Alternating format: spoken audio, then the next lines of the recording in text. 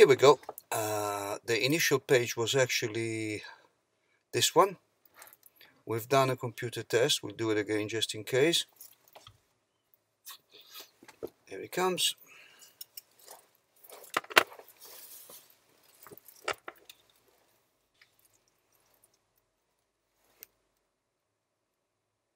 Okie doke. So now we're going to go to, of course, we got any problems would be detected here, but it won't be shown here.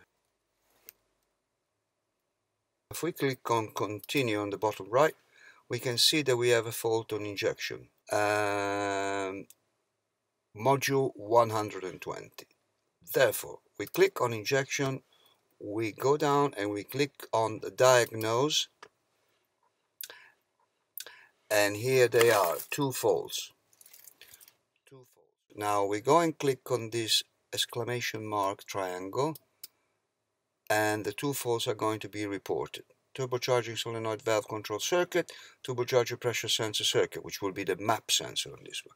As we can see on the right there, yellow, that means that they have been recorded but they're no longer there. In fact, I've got no lights on the dashboard.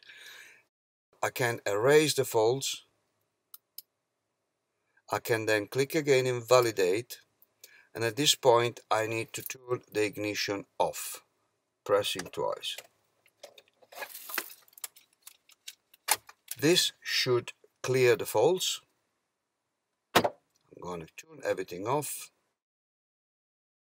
Ignition on again. Go back to the very beginning and rescan it might work this way. If not I would have to exit from clip and start again. It normally does. Computer interrogation. Almost done. Done. As you can see now no problems detected. Having said so, these are all the modules available, all the ECU, airbag computer, UCH, air conditioning, instrumental panel, UPC, variable pass, which is the power steering, and the ABS.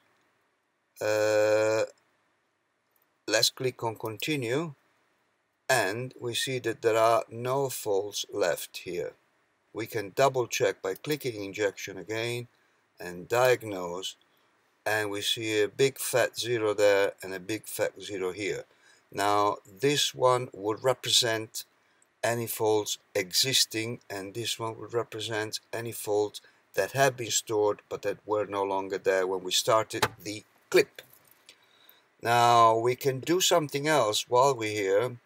We can click on record. We can go and get the parameters uh, engine speed I need boost pressure. We need EGR valve position. We'll make it easier this time. We don't use the reference because I know that it's fine. All I do need is this four definitely. The four fuel flow correction for each cylinder. And finally the accelerator position which I'm going to place at the very top. Excellent. Now we're going to put 300 seconds. Start recording. It's working. Start the engine. Idle. I'm gently revving up. 1000 1100 1200 1003 oh difficult to hold them and this is what I'm trying to investigate at the moment. I'm investigating why between 1500 revs and 2000 revs is difficult to hold but anyway here we go. 1600 1700 1800 1900, 2000, 2100, 2200, 2300, 24, 2500, 600, 27, 28, 29, 3000 revs. Well, we might as well let, let it come down again because I see that the flow correction is actually stuck on one on all of them. So I can now stop the recording, save this file, which is going to be named 0041 dat, save it. At this point, what else can we do? Well, as far as I'm concerned for today, I would be finished.